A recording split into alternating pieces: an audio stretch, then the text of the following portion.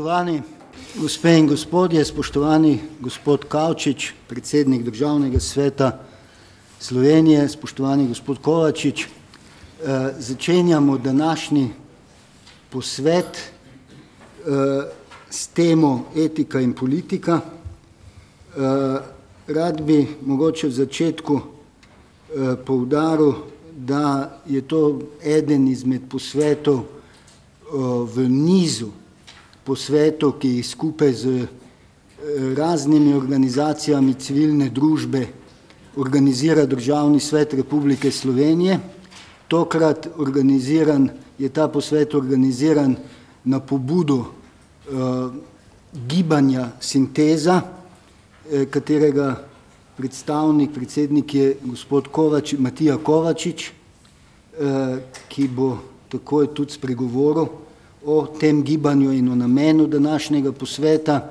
Jaz bi mogoče v začetku, po tradiciji sediva tukaj dva, vedno predstavnik Državnega sveta s tistega področja, ki je nekako najbližje temi, in pa predstavnik organizacije, skupaj s katero je posvet organiziran. Potekal bo pa posvet na ta način, da bo na začetku spregovorilo pet uvodničarjev, ki bodo predstavili svoj pogled na temo in potem bo sledila razprava. Načeloma je dogovorjeno, da bi uvodničarji imeli tam nekako do petnajst minut svojih uvodnih predstavitev, svojih stališč, in da bi potem razprave, h kateri katerim se prijavljate s takšnimi listki, ki jih imate na klopeh, in bodo, boste vabljeni k razpravi po vrsti, kot bojo te prijave oddane, pa da bi nekako v petih minutah svoja stališča v zvezi s temo sicer ali pa v zvezi s stališči, ki jih boste predhodno slišali, povedali. Preden povabim k besedi gospoda predsednika Kavčiča, mogoče z moje strani samo en stavek, potem bo pa gospod Kovačič nekoliko širše predstavil temo in pa, kot rečeno, gibanje Sinteza. Tema je najbrž ne samo trenutno v Sloveniji, ampak v svetu sploh izjemno pomembna, saj najbrž vsi vidimo, da se politika povsod pravzaprav lovi danes, išče neko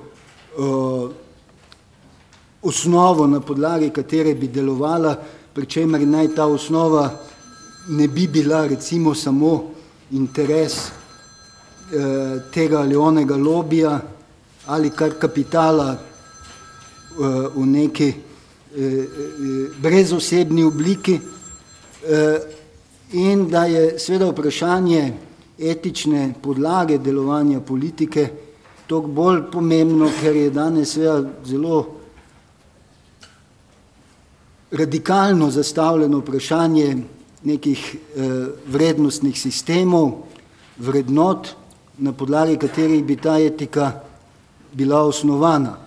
Težko je najbrž misliti, ne, da ob tem, ko se zelo veliko govori o krizi vrednot, da je pač mogoče na neki način restavrirati vrednote, ki so veljale mogoče pred sto leti ali pa še več, ker je očitno, da jih življenjska praksa na neki način obhaja, obide, ne, in da je najbrž treba tudi o vrednostnem sistemu razmisliti na novo in ugotoviti, kakšen vrednostni sistem dejansko danes velja, če sploh velja. Tako da je to to ta to posvetovanje najbrž ne zadnje na to temo izjemno važno, ker gre za neka vprašanja, ki si jih praktično vsak dan vsi zastavljamo, tudi ob vsakdanjem ravnanju naše in seveda tudi svetovne politike. Gospod Kovačič, prosim. Hvala lepa. Tudi jaz bi vas v imenu gibanja lepo pozdravil vse navzoče. Dve besedi mogoče o gibanju. Mi smo zaenkrat čez merom neformalna skupina izobražencev, ki smo različnih strok se eh, skupaj dobili zaskrbljeni zaradi splošne družbene krize, ta ogroža našo prihodnost in eh, še bolj kot nas, naše otroke. Eh, mi želimo delovati kot segment civilne družbe, konstruktivno prispevati k iskanju Eh, rešitev k javni razpravi o vzrokih in vidikih krize eh, in na ta način prispevati k razrešitvi.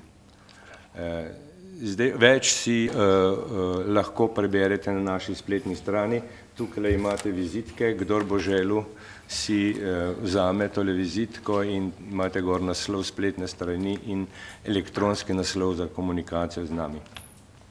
Posebej bi rad pozdravil vodničarje in se jim zahvalil za odziv na tale, na tale posvet. Eh, oni nam bodo vsaki svojega zornega kota predstavili problem oziroma osvetlili problem umankanja etičnih načel in družbenih vrednot v našem današnjem svetu in naši družbi in izhodišča za razpravo dali. Z današnjim posvetom se tudi mi vključujemo v to razpravo, seveda nimamo pri tem ambicije, da bi vse odgovore našli, ki so aktualni danes, tudi ne z ambicijo, da bi neke nove etične norme eh, oblikovali. Eh, te norme etične so v zavesti človeštva pravzaprav že tisočletje prisotne, ampak danes se kaže, da so eh, ta vprašanja v zavesti posameznikov in skupin in družbe kot celote nekako na obrobje odrinjene, kukor da za današnji čas in prostor ne bi bile več pomembne, da sodijo zgodovino in da se z njimi nima smisla ukvarjati. Ampak jaz mislim, da tehnični, gospodarski in splošni družbeni razvoj prinašata tudi na etičnem in vrednostnem področju nove izzive, nove dileme, in zahtevajo, ki zahtevajo vedno znova nove interpretacije etičnih norm. Eh, če ponazorim s primerom, če je nekdo včasih oropo popotnika, se je to vedlo, da je to eh, zločin, da je to eh, kraja. Ne?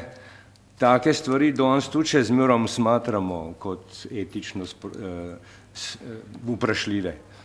Če pa danes nekdo z borznimi špekulacijami eh, oškoduje veliko ljudi, ne, se pa to nekako smatra, kot da je to normalni del sistema ne, in da to ni moralno nič problematično.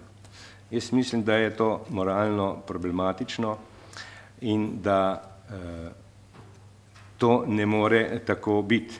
Zato mislim, da je treba Torej, s tem primerom želim povedati, da je treba vedno znova razpravljati o etičnih vprašanjih, vedno znova v luči teh meril tudi presojati naše dejanja, ker bomo samo tako kot posamezniki ali kot družba lahko napredovali k višji stopni človečnosti.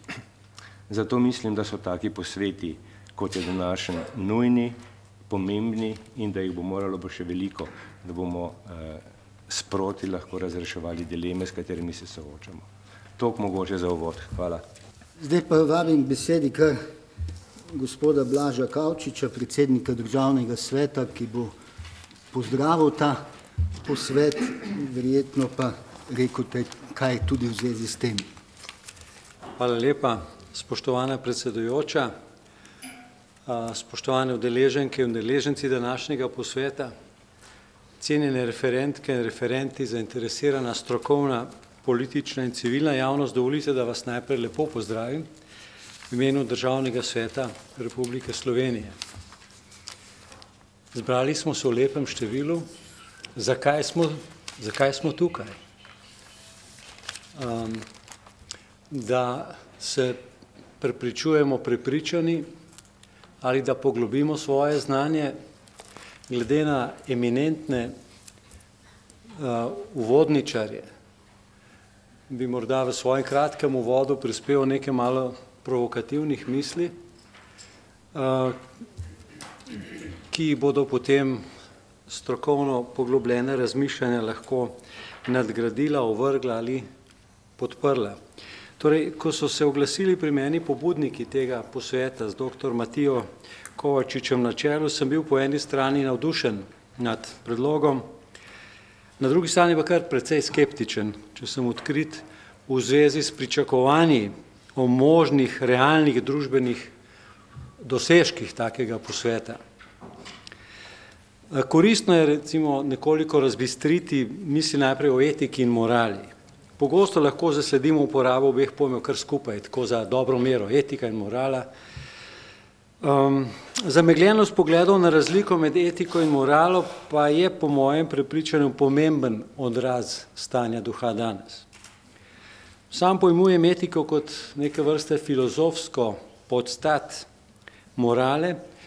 Pričakujem, da bodo današnji strokovni referenti v tej zvezi poglobili razmišljanje, dali kakovosten prispevek. Ampak razlika med etičnostjo in moralnostjo mi izgleda podobna kot razlike med pravičnostjo in pravnostjo. Druga ohlapnost, ki prispeva eh, k oddaljevanju družbenih razmišljanj od bistva problema sedanjega trenutka Slovenije, trenutka Evropske unije in sveta, pa je uporaba in komentiranje pojma politika. Udrihanje čez politiko je ne samo nekoristno, ampak po mojem mnenju tudi škodljivo. Saj usmerja pozornost stran od bistva problema. Politiko moramo na eni strani razumeti v njenem izvornem pomenu, torej ukvarjanje s skupnimi vprašanji države, od otroškega vrtca, šole, kulture do policije, vojske. Brez politike današnja družba ne bi mogla delovati.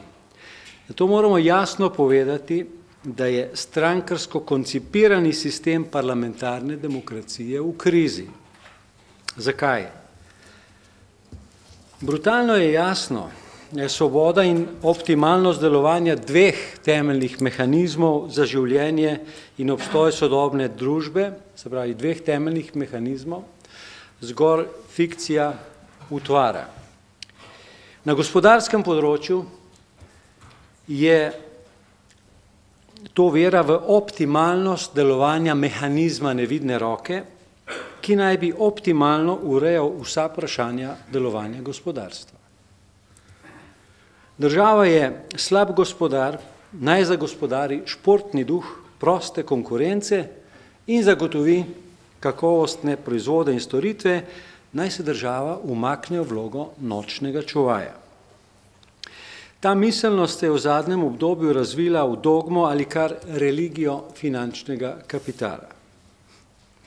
Iz finančnih crkva slišimo izjave, kot so naprimer, saj nismo Bog, da bi odločali, ali naj kakšen finančni instrument preživi ali umre. Lahko bi nadaljevali z mislijo in rekli, proti božjim postavam je abortirati nemoralne finančne instrumente naj živijo, bo že življenje pokazalo, ali so vredni preživetja. In živijo. Proizvajajo neuzdržne in naraščajoče razlike med revnimi in bogatimi, porivajo srednji razred na raven nižega. Eden stranskih proizvodov delovanja sedanje gospodarske paradigme so davčne oaze. Po zadnjih podatkih je v njih 13 tisoč milijard ameriških dolarjev kapitala. To je težko predstavljiva številka, naj jo malo ponazorim, s pet odstotnim donosom, s pet odstotnim donosom od denimo zamrznjenega premoženja bi lahko letno investirali 650 milijard ameriških dolarjev obnovljive vire energije, v trajnostno kmetijstvo, v odpravo lakote, v optimalnejše gibanje števila in zdravja ljudi. Kdo torej lahko trdi, da nimamo denarja in da moramo vrčevati? Pa prištejmo prejšnjemu znesku iz davčnih oaz še 16 tisoč milijard za oboroževanje. Denarja imamo dovolj. V bistvu imamo denarja preveč, še vedno pa imamo premoženja, sredstev dovolj za spodobno življenje vseh, držav, vseh eh, zemljanov. Ampak tudi na zadnjih volitvah v Sloveniji so voljivci sprejeli tezo, da moramo varčevati. da moramo s sušenjem socialnih storitev, otroškega varstva, šolstva, zdravstva, kulture prihraniti dovolj, da bomo povrnili zaigrani denar napihovalcev finančnega in nepremečninskega balona in da bomo omogočili novo fazo napihovanja. Načelno, gospe in gospodje, se bomo morda strinjali, v praksi pa smo lahko videli vrhove slovenskega intelekta pri sprejemanju teze, da je pač treba pritegniti enemu od močnejših nosilcev kapitalske moči. Mediji, predvsem komercialni, a spremljavo nacionalnih, so napravili solidno podlago javnemu mnenju, da je podprlo prodor na politično sceno najbolj flagrantnim prerokom neoliberalnega monetarističnega družbeno-ekonomskega koncepta. In če smo nekoliko bolj nazorni, nihče se posebej ne ukvarja z virtualnim ja, in celo negativnim prispevkom nekaj zadnjih poslovodstv Nove Ljubljanske banke, ki so zapravili več sto milijonov in poslovno nesposobili nekdaj vodilno banko. A virtualni prispevek poslovodstv in prisklednikov se je opredmetil v ogromnem osebnem bogatstvu velikega števila posveščenih in pripuščenih. Varčujmo. Druga otvara privic, s katerimi imamo upravka, je, da so politične stranke v okviru sistema parlamentarne demokracije mehanizem brez šumnega prenašanja volje ljudstva v politično delovanje. Politične stranke so podjetja, ki udejanjajo družbeno moč finančnih centrov moči. Zato je nestrankarski koncept državnega sveta dragocen in inovativen prispevek tvorcev slovenske ustave. Interesi družbenih skupin, ki so bolj določno artikulirani, kot so interesi posameznega državljana kot voljivca politične stranke oziroma poslanskega kandidata, ti interesi so koristen in vse bolj nepogrešljiv korektiv delovanja politične oblasti.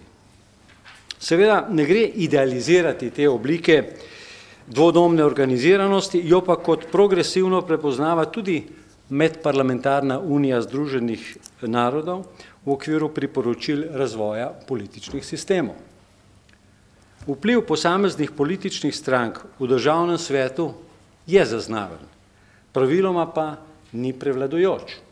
Morda izjemo lahko predstavlja nedavno neuspeli veto na zakon o vladi, kjer je visoka stopnja motiviranosti in zauzetosti ene ad hoc skupine državnih svetnikov bila soočena z manj izrazito zauzetostjo in tudi abstinenco druge skupine državnih svetnikov.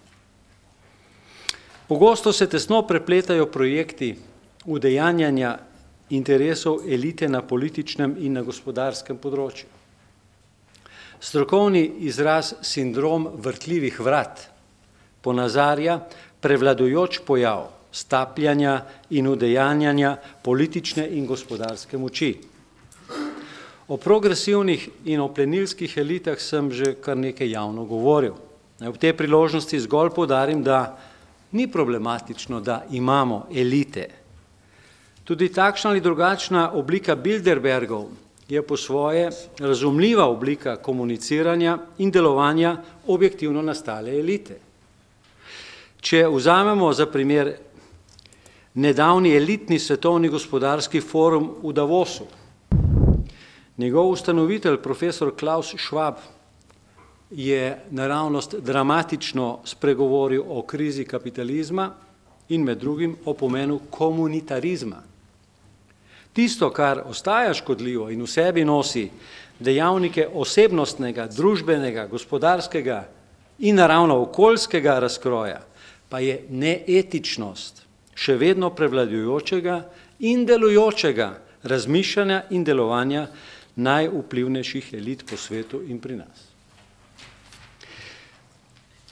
Gospe in gospodje, po mojem prepričanju je neetično zastopati stališče, da so današnje družbene tegobe posledica spodrsljaja ali posledica napake svetovnih upravljavcev.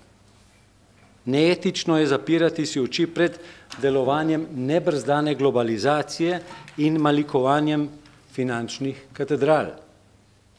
Ali lahko etika obstoji in deluje brez človeka, brez človeštva? Elita je namreč številčno vse ožja. Kaj bo, ko bo v asimptoti ostal samo en človek z goro sterilnega denarja? Denar in Bog sta človekova miselna konstrukta. Brez človeka ne bo ne enega, ne drugega. Ali torej malikovati denar ali postaviti v ospredje človeka. Človeka, ki lahko obstoji in se razvija samo v primernem družbenem in naravnem okolju. Etično, morda pa manj moralno je zastopati stališče, da je današnje družbeno stanje logični, neizogibni proizvod sistema, paradigme, ki pa še vedno neovirano deluje naprej. Etično je spoštovanjem prispevkov Kinga in Tineta Hribarja o svetovnem etosu zastopati legitimne pravice človeka, njegovega družbenega in naravnega okolja. A da bi zastopanje načel imelo kakšen zaznaven učinek v praksi, učinek na kakovost življenja državljanov, bo morala etika dobiti močnejšo vlogo v politiki. Naj današnji posvet, gospe in gospodje, pomaga vsaj pri povečevanju gostote zavesti o tem spoznanju. Naj bo še tako težavna realna družbena sprememba, njena podlaga, njen prvi korak je jasna misel. Hvala. Hvala.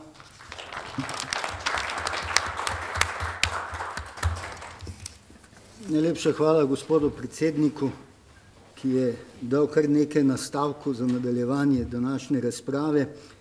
Imamo uh, pet oziroma šest, pri čemer boste dva nastopila v tandemu, uh, zelo kvalificiranih uvodničarjev, uh, ki so že v preteklosti veliko svojega znanja in energije vložili v to, da bi bil slovenski, da bi bila slovenska demokracija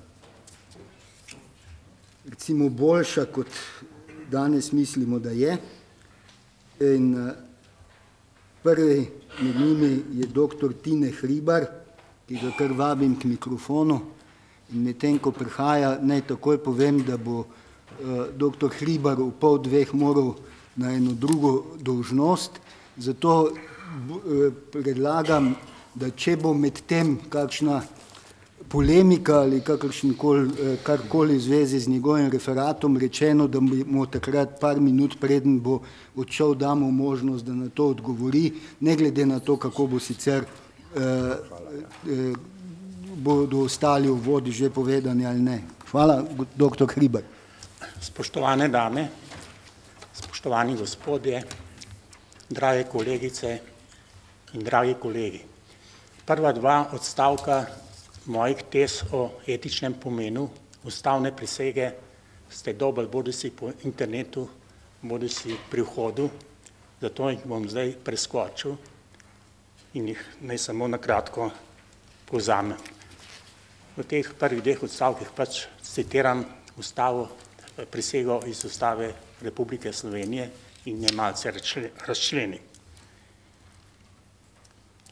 No, če zdaj to pozamem, lahko ugotovim, da besedilo ustavne prisege ne nahajamo v preambuli, marveč med normativnimi členi ustave. Torej spada v moče pozitivnega, ne pa naravnega prava, to je etike nima zgolj napotitvene teže, mreč ima zakonodajno veljavo. Vendar ne predstavlja element običajne regulative, mreč pomeni uzakonitev etičnega ustavnega izhodišča. Tako kot še veliko drugih ustavnih elementov, naprimer členov o temnih človekovih pravicah. Problem za ustavno prisego pa je v tem, da kljub svoji etični vsebini in zakonodajni obliki v praksi deluje kot nekaj povsem formalističnega. Tudi v komentarju Ustave Republike Slovenije iz leta 2002, dva, ki, je, ki jo je pripravil oziroma uredil Lovro Šturem, je člen ustavne prisege razložen zgolj formalistično. Naj navedem, iz dikcije določbe, da izreče predsednik republike prisego pred nastopom funkcije, sledi, da je izrek prisege pogoj, da izvoljeni predsednik republike lahko začne opravljati funkcijo. Konec navedbe. To je zapisano in nič drugega. Nobene vsebinske obrazložitve ni. Celo nobenega pravnega poduka ni, recimo, o tem, kaj pravno gledano pomeni na eni strani ravnati se in po drugi strani ne ravnati po svoji vesti. Ob vsem, tudi, ob vsem tem tudi priseganje kot tako deluje formalistično, nekako prazno. Opazoval sem ministre, kako prisegajo. Nekako nelagodno. Mudilo se jim je, da prisego čim prej izrečejo in na to čim hitreje podpišejo svoje imenovanje. Da se jim ne bi zataknilo ali celo kaj zareklo, so prisego izrekli tako, da so jo prebrali. Vprašanje je, če se je bodo do konca vladanja sploh še kdaj spomnili. Še večje vprašanje pa je, če jih bo med vladanjem na prisego spomnil kdo drugi. Konkretno, spomnim na kaj?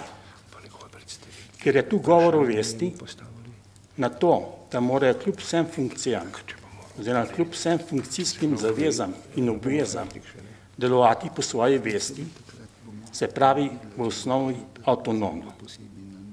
Sicer glede na različne interese in različna navodila, to da na vse zadnje v temelju ne glede na interese in heteronomna navodila. In z vidika poslancev je le ravnanje po svoji vesti lahko etična podlaga ustavne določbe, da so predstavniki vsega ljudstva in niso vezani na kakršnakoli navodila. Drugače rečeno, če kdo poslancev zapove, da mora slediti kakemu navodilu, naprimer strankarskemu, zapovedovalec krši ustavo. Krši pa jo, če je imperativ drugega, drugega z veliko začetnico, v Boga, tudi poslanec. Se poslednično ne deluje kot predstavnik vsega ljudstva, temveč kot zastopnik dela ljudstva, se pravi stranke. To, da je poslanec predstavnik vsega, ne pa dela ljudstva, ni etična, pač pa socialna in prek ustave tudi pravna norma. Toda ta norma ne bi mogla in ne more obveljati, če ne bi bila oprta na etično podlago, po kateri ne poslanec ravna po svoje vesti. Etično gledano, kaj pa da ne samo poslanec, marveč, če tudi v drugih okoliščinah vsak človek. Z vidika ustave je ravnanje po svoji vesti več kot pravica, je dožnost ne le etična, ampak za tiste, ki prisežejo, tudi pravna dožnost, to je obveznost. Pravice z mojega osebnega oziroma individualnega vidika. Dožnost pa je z vidika drugih. Pogosto naletimo na sintagmo pravice in dožnosti. To, da v enem in istem odnosu pravica ni nikoli tudi dožnost. Relacijsko gledano, pravica in dožnost nista eno in isto. Pravica vse vsebuje možnost izbire, dožnost pa ne. Če bi bilo cepljenje uzakonjeno kot dožnost, kot je bilo nekdaj služenje vojaškega roka za moške, potem bi bilo cepljenje pač dožnost, ne pa pravica, po kateri bi se lahko odločali za ali proti cepljenju. Očitno vsa ta razmerja povzročajo veliko težav, predvsem pa etičnih zastranitev. Spomnimo se, kako silovitim pritiskom in hudem želitvam, ki jih je še danes deležen, je bil podvržen poslanec Ciril Pucko, ko je ravnal po svoji vesti in ni glasoval po nareku svoje stranke, marš kot predstavnik vsega ljudstva. Duhovno nasilje, če se omejim le najm, niso izvajali, izvajali le nad njim, ampak tudi nad njegovimi sorodniki, celo krajani. Ker je sledil svojemu govoru vesti in kljub grožnjam ni, ni popustil, ga imam za junaka slovenske parlamentarne demokracije.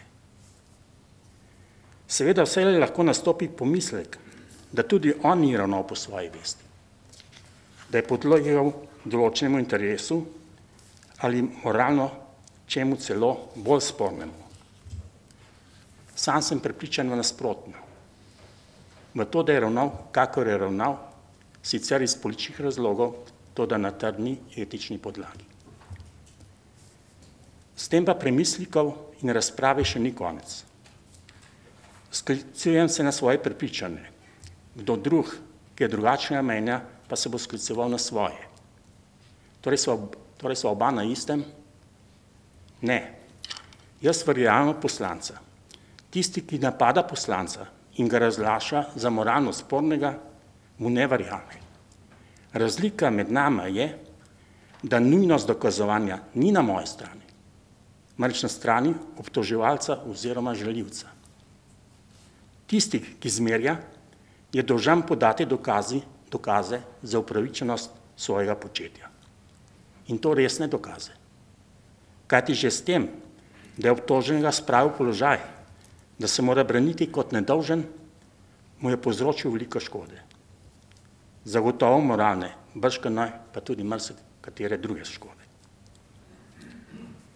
S temi navedbami ne zapiram, marveč šele odpiram prepotrebno razpravo o etičnem pomenu ustavne prisege, na vse zadnje o etični podlagi slovenske ustave sploh.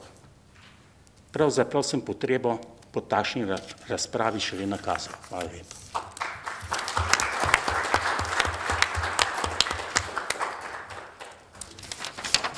Hvala. Naslednji je na vrsti dr. Janko Prunk. Spoštovani predsedujoči, spoštovani gospod predsednik državnega sveta, spoštovane gospe in gospodje, dragi prijatelji, Eh, moj referat ima naslov politika in morala, ne etika in politika, kajti morala je nek skupek pravil zapovedi, ki vrednotijo in usmerjajo medsebojne odnose ljudi kot posledica pojmovanja dobrega in slabega, etika pa je filozofska disciplina, ena izmed njenih temeljnih, ki proučuje moralo, tako približno jaz to vidim, čeprav marsikdaj pride do, eh, do nekako sinonima in eh, eh, enakega eh, uporabljanja eh, obeh terminov za, za isto stvar. Moralo pozna človek, kot kar se je učlovečil, nekako istočasno z verovanjem. Največkrat sta vera in morala prepleteni oziroma izhaja ena iz druge. Najbolj preprosto povedano, vera človeku odgovarja na vprašanja in dileme o človekovi egzistenci, minljivosti, končnosti, večnosti, transcendenci, morala pa postavlja pravila za povedi in obna, za obnašanje, ravnanje tu zemskem življenju človeške skupnosti. Morala se je razvijala z razvojem človeške skupnosti in največkrat vplivala na ta razvoj. Postajala je vse bolj kompleksna in izoblikovala norme obnašanja za vsa področja življenja človeške skupnosti. Tako poznamo družinsko moralo, spolno, plemensko, narodno, državno, poklicno, stanovsko, politično in še kakšno morda pravno. Morala je seveda povezana s pravom, v idealnem odnosu je morala kar temelj prava, čeprav se hoče pravo popolnoma osamosvojiti kot regulacija človeških odnosov sui generis. V zavesti ljudi v naši zahodni civilizaciji močno prisotna Eh, kar je njen, temeljni, kar je njen temelj morala hebrejskega ljudstva zapisan v desetih božjih zapovedih. Nas zanima predvsem politična morala, to je odnos morale in politike, odkar je politika postala res publika, javna zadeva, to je od rojstva demokracije v starogrških Atenah. Tam so nastali prvi teoretični pogledi in praktične zapovedi o moralnem ravnanju v političnem delovanju. Kdo ne pozna takih avtorjev, kot so Sokrat, Platon, Aristotel. Sokratova opredelitev prave morale, prave moralne politike, ki jo poznamo skozi Platonov spis, eh, pravi, da eh, in ima lahko veljavo še danes. Eh, on eh, pravi, da je smisel prave politike dati materialnim stvarem pravi položaj, kajti čednost, vrlina ne nastane iz bogatstva, ampak človeško bogatstvo in druge dobrine nastanejo iz čednosti.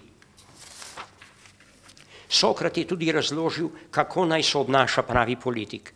Pravi, pravi politik je lahko le tisti, ki ima resnično pravo, eh, ki ima resnično pravo, ne pa domnevno vedenje o stvarih, o katerih govori. Realist Aristotel je Platonovo idealistično politiko še dopolnil z enim elementom, poudaril je, da je sredinska politična pot, pot sredinske ustave, temelj, da temelji v tistih, ki s svojo posestjo stojijo med bogatimi in revnimi.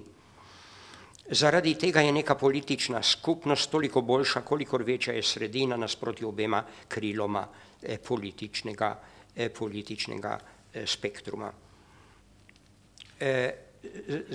Takšna utemeljitev je morda bila celo potem v zavesti liberalcev, razsvetljencev v 18. in 19. stoletju. Krščanstvo je pomenilo v razvoju morale in politike eh, nekaj novega, izvorno je govorilo o enakosti božjih otrok, o možnosti človeškega odrešenja v onostranstvu, če človek živi po, na, po naukih Jezusa Kristusa, katerega temeljni element je ljubezen in spoštovanje do bližnjega. Ta lepi nauk so kristijani prakticirali le v prvih treh stoletjih in pol, dokler so bili preganjani. To, da z razvoj se je spremenil, ko je krščanstvo postalo državna vira, in ko, je povz, ko se je povezalo z oblastjo. To novo stanje je teoretično pravičil sveti Augustin v svojem delu o Božji državi. Začelo se je govoriti o dveh oblasteh, Božji in posvetni, ki mora biti človek pokorn. E, krščanstvo je še nek nov element prineslo v em, pogled na človeka in družbo, to je postavilo je primat duhovnega življenja nad materialnim, to se pravi nek dezinteres za materialnost z tistim reklom, ne človek ne živi samo od kruha. E, novi vek, e, pravzaprav razsvetljenstvo je utemeljilo moralo sekularno, čeprav ne popolnoma v nasprotju z osnovnim krščanskim etosom, ampak v nasprotju z zapovedmi in prakso krščanskih crkva. Prosvetljeni liberalci od Johna Locke, Rousseauja, Smitha in pa Jeremiah Benthama in Kanta seveda so bili moralni filozofi, ki so stavili vso moralo na svobodnega razumnega človeka. Adam Smith, znani ekonomist, mi ga zelo vulgarno eh, danes eh, tretiramo eh, in pojmujemo, je bil pa zelo moralen in zelo drugače je razlagal odnos morale in, in ekonomije. Smith je poudaril, da mora biti egoizem razsvetljen in reguliran na temelju izvornega občutka simpatije za sočloveka in smisla za pravičnost s pravili etike in pravičnosti, ki so jih ljudje odkrili z izkušnjo in razumom. Smith eh, in drugi izvorni ekonomisti in politični eh, liberalci eh, so si, na, so si novo pravično svobodno meščansko družbo predstavljali kot družbo srednjega sloja srednjih lastnikov. Eden najbolj znanih političnih liberalcev na prehodu iz 18. v 19. stoletje, Jeremiah Bentham, je cilj liberalne politike definiral kot prizadevanje, največ to je reklo, vsi poznate, prizadevanje za največjo srečo, za največje število ljudi. Pri eh, razgrinjanju odnosa med politiko in moralo je potrebno omeniti še seveda Žana Žaka Rusoja z njegovim konceptom dogovorna med vseh ljudi za skupne cilje, con la volonté general, ki je predstavljal razumnost, ki je predpostavljal razumnost ljudi.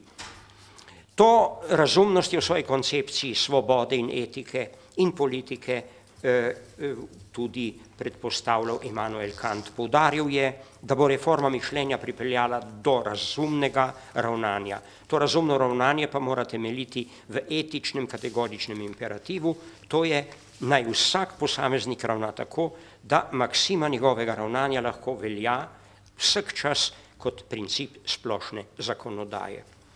V dobrega pol stoletja, v prvi polovici 19. stoletja so mlajše generacije liberalnih, zlasti ekonomskih ideologov, te lepe etične poglede na družbo in politiko pozabile, v spredje je stopila morala oziroma nemorala materialnega pridobitništva oziroma profita in bogatenja lastnikov kapitala brez omejitve. To je pomenilo najhujšo izroditev liberalne meščanske družbe v navaden ekonomski laissez-faire, laissez-passer.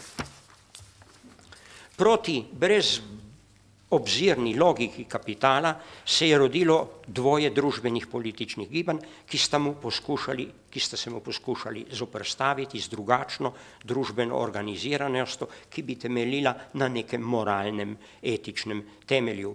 Najprej se je v prvi polovici 19. stoletja pojavilo socialistično gibanje utopičnih socialistov, ki so si zamišljali družbeno kontrolo nad kapitalom, nekateri celo podružavljanje lastnine kot vodilo za projekt, pa naj bi, bila, naj bi služila prava humanistična etika, Saint-Simon, Weitling, Boucher, pa tako naprej.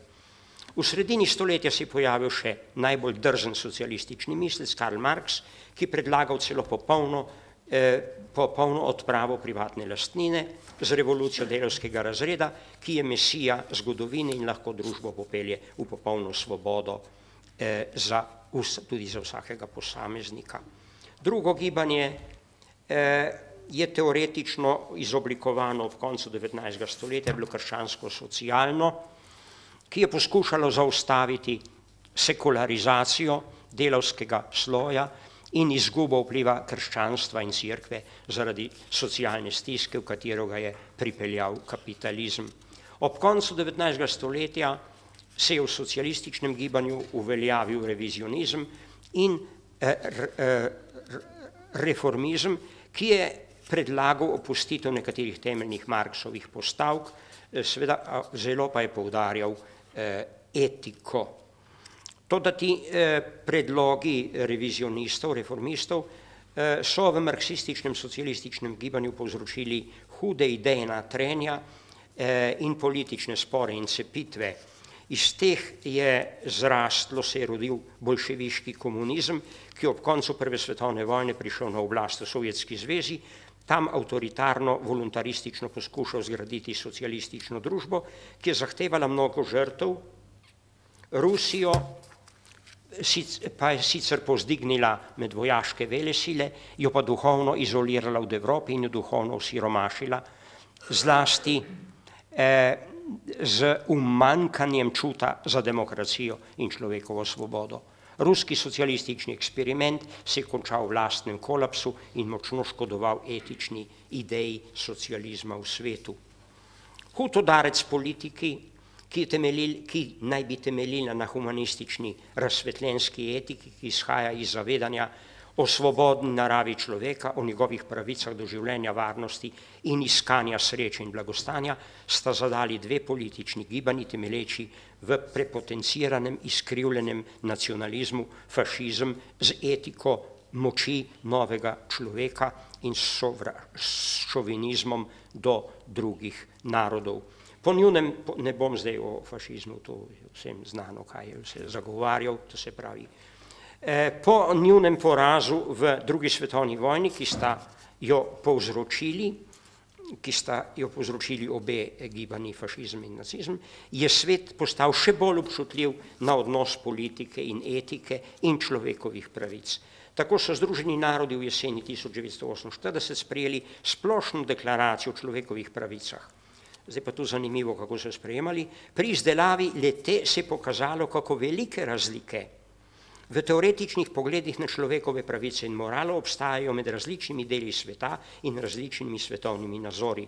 Skupina priplavljalcev ni bila velika, 29 ljudi je bilo v tej skupini, eh, ki so prihajali iz različnih koncev sveta, se je odločila za pragmatičen pristop.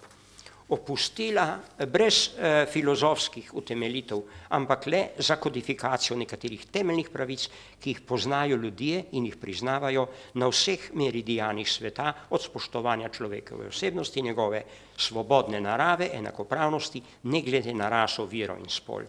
Lahko rečemo, da se je s to deklaracijo nekako začel razmislek o svetovnem etosu, ki traja še danes in še mnogo bolj v še mnogo bolj globaliziranem svetu. V drugi polovici 20. stoletja je, nastala kar, je nastalo kar nekaj pomembnih deklaracij in teoretičnih utemeljitev morale človekovih pravic v javnem življenju in v politiki. Omenimo kar prvo, zelo pomembno, meni se zdi kar najpomembnejša zame, to je utemeljitev v Godesberškem programu Nemške socialne demokracije leta 1959, Program izredno povdarja, da je SPD stranka, ki temelji v krščanski etiki, humanizmu in klasični filozofiji in nima namena oznanjati zadnjih resnic, ne zaradi svoje ravnodušnosti ali brezbrižnosti do svetovno-nazorskih in verskih resnic, ampak zaradi spoštovanja pred svobodno odločitvijo ljudi za versko opredelitev, o čemer ne more odločati niti stranka, niti država. SPD naglaša, da je stranka svobode duha, da je skupnost ljudi različnih verskih in miselnih smeri, njihovo soglasje temeli v skupnih moralnih temeljih, temeljnih vrednotah in istih političnih ciljih. Na to pa izčrpno, precizno našteva te vrednote med, in cilje med njimi, med katerimi so človekovo dostojanstvo, svoboda za življenjske odločitve, socialna solidarnost, skrb za mir in skrb za znanstveni in gospodarski razvoj in tako dalje. Kmalo je socialnim demokratom v poudarjanju človekovega dostojanstva in spoštovanja le tega sledila celo katoliška crkva v encikliki Pacem in Teris v deveti točki, ki govori o, o teh stvarih. Temeljna usmeritev te enciklike je sicer potem dajala ton rezoluciji drugega vatikanskega koncilja. Ampak vse te, eh, vse te eh, ta eh, rezolucija, pacem, eh, torej deklaracija pacem interis in rezolucija, ki jo imenujejo eh, oni eh, konstitucija crkvenega eh, koncila, eh, ki se je zauzemala za aggiornamento, to se pravi za sprijaznjenje crkve z modernim svetom, se v crkvi prebija v praktičnem življenju zelo težko, katoliške crkv, posebno na nekaterih meridijanih, naprimer tudi v Sloveniji, jo še vedno ne morejo sprijeti, se sprijazniti z adžornamentom. Eh, v hitrem in velikem socialnem in političnem napredku v svetu je prišlo v začetku 80-ih let do za, za stoja oziroma nekakšne involucije v smeri neoliberalizma in neokonzervativizma, Ob koncu 80-ih let je propadel tudi bolševiški komunizem in v svetu se je sprostila pot nebrzdanemu razmahu neoliberalnega kapitalizma, ki se ne meni veliko za moralna etična vprašanja, razen za zaščito lastnine, pravico do neizmirnih profitov. Proti takšnemu razvoju se oglašajo številni humanistično usmerjeni misleci, samo dva bom naštel, pa končam to obči pregled. Eh, ki poskušajo, ki predlagajo obrzdati takšen razvoj z upeljavo več morale ali etike v javno življenje. Omenim le nekatere, najbolj splošne. V ZDA poskuša sociolog, liberalec John Rawls, ravno kar pred parimi leti umrl, utemeljiti teorijo družbene pravičnosti s poudarkom na souživanju, na sočustvovanju v usodo so ljudi. Nekdani nemški kancler, ugledni socialdemokrat Helmut Schmidt, pledira za poživitev nove javne morale in meni, da je ob moralno izvotljenem neoliberalizmu moč jo je moč utemeljiti v krščanski etiki, seveda brez crkvenega patronata. Nemško-angleški sociolog in ekonomist, pol socialdemokrat, pol, pol liberalec, opozarja, da bo svet in njen liberalizem moral najti neko rešitev za neskladje med poudarjanjem človekove svobode, političnih pravic in enakopravnosti in neoviranim individualnim prilaščanjem družbenega produkta, ki, so, ki si romaši široke sloje prebivalstva in jim omejuje svobodo. Zdaj pa, če čisto na kratko mi dajte še dve minuti, še o slovencih nekaj. Slovenci smo svojo politiko in teoretične poglede kot tudi do neke mere praktično dejavnost povzemali in prevzemali po razvoju v Evropi. S tem, tudi, s tem pa tudi odnos med politiko in moralo. Prve slovenske politične liberalne koncepcije že v 1873 so vsebovali tudi odnos do morale, ki je, eh, ki je, bil, eh, ki je izkazoval razsvetljensko, racionalistično, humanistično, solidarnostno in tolerančno noto. Toda zaradi nerazvite socialne strukture slovenskem narodu je slovensko liberalno meščanstvo prišlo v socialni in politični konflikt z večinskim kmečkim ljudstvom in pozneje z delavstvom. Postalo je branilec interesov lastnikov kapitala in izobrazbe. Najbolj eklatanten primer je voditelj liberalcev Ivan Tavčar, ki je večkrat povdarjal, tu smo mi, ki nekaj imamo in nekaj znamo in ne moremo deliti pogledov socialističnega proletariata in krščansko-socialnega gibanja. Slovenska katoliška crkva se je v strahu pred izgubo socialnega in političnega kulturnega vpliva sredi 80-ih let 19. stoletja ukopala na predmodernih ideoloških, socialnih in kulturnih pozicijah in jih nepomirljivo, netolerantno branila. Anton Mahnič, najbrž bomo še danes kaj o tem slišali. Neki samo še za zaključek. Janez Evangelist Krek je upeljal eh, po vzoru seveda Evrope, po vzoru papeške enciklike, nov eh, pogled, eh, socialni pogled v evropsko katoličanstvo. Prv se je na slovenske delovne stanove, ki jih je sam imenoval, kmete, obrtnike, pa tudi delavstvo in jim na podlagi katoliškega virskega in antropološkega etosa poskušal z razvojem zadružništva do, pri pomoči k socialnem boljšemu položaju. Lahko ga označimo, da je bil v svojem času na višini eh, potreb, tako je njegovo krščansko-socialne gibanje za pol stoletja postalo daleč dominantno v Sloveniji.